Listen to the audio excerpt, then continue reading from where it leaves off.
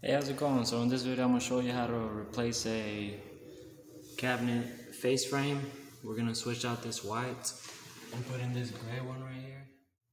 All you're gonna need is a multi-tool, a screw gun, a nail gun, and some wood glue, and we're gonna get it together.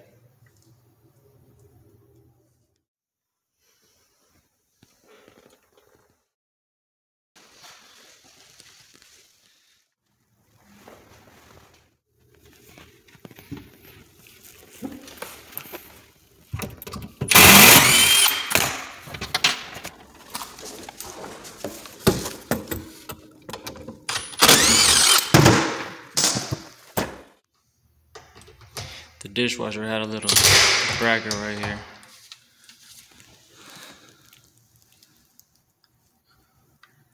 Sometimes they use these upper brackets, but because it didn't have a skirt, they use the side ones. Or they use them all.